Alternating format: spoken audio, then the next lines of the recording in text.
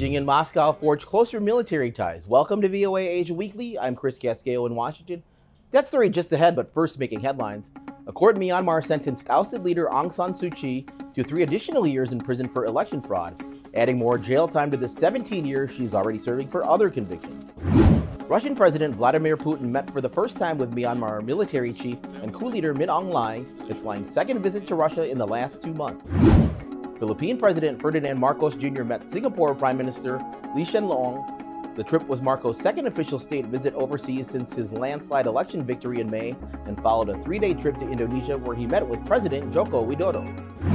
Five Hong Kong speech therapists were convicted of sedition after they printed a series of children's books about sheep and wolves that a court said was aimed at inciting hatred against authorities. Members of the exiled Shenzhen Holy Reformed Church, a Presbyterian church whose members left China for South Korea three years ago, are seeking political asylum in Thailand. They have been subject to constant harassment from mainland China's government over their church's status. Russian leader Vladimir Putin said he plans to hold talks with Chinese leader Xi Jinping at a summit of the Shanghai Cooperation Organization in Uzbekistan next week, their second meeting this year. President Xi has not left China since the COVID outbreak in early 2020. Russia's invasion of Ukraine has driven Moscow and Beijing closer, according to a new report that warns of the possibility of Russia and China supporting each other in any future conflict. Henry Ridgwell reports for VOA from London. Russia is this month hosting the Vostok 22 military exercises in the east of the country. 15 countries are taking part, and China is Russia's guest of honor.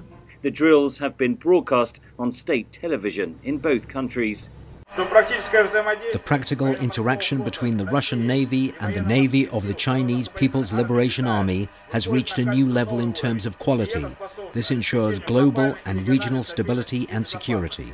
China and Russia do not yet have a formal military alliance, but share deepening military ties, according to a report from the Center for Strategic and International Studies in Washington. Arms sales are also a vital part of the relationship, but there are difficulties, says Bonny Lin, one of the authors of the report. China uh, imports about 70% of its total arms uh, from Russia. But by the mid 2000s, China began focusing more on domestic production of its arms, so less reliant on Russia. At the same time, Russia became more concerned about Chinese theft of its technology, and more recently, in the past couple of years, most of China's imports from Russia on the arms sales side have been to support its aircraft programs. China has tacitly supported Russia's invasion of Ukraine. Beijing is doing quite a bit of mirror imaging between what it views as Russia's the problems that Russia faced dealing with the West and NATO and the problems that Beijing faces right now dealing with the United States and our closest allies and partners in the Indo-Pacific. The report cautions that the Ukraine conflict has driven Russia and China closer. I'm not saying that, for example, Russia would put boots on the ground in a uh, China conflict with one of its neighbors, but it could provide other forms of support, including intelligence, including uh, even political support. The report says China's military capabilities are catching up with or surpassing those of Russia. The Kremlin's invasion of Ukraine has stalled the report authors say a Russian failure there could lead Beijing to re-evaluate its military relationship with Moscow. Henry Ridgwell for VOA News, London. Visit voanews.com for the most up-to-date stories. You're watching VOA Asia Weekly. The nuclear envoys of Japan, South Korea, and the United States agreed to strengthen security ties in the face of potential provocation from North Korea in the form of a nuclear test.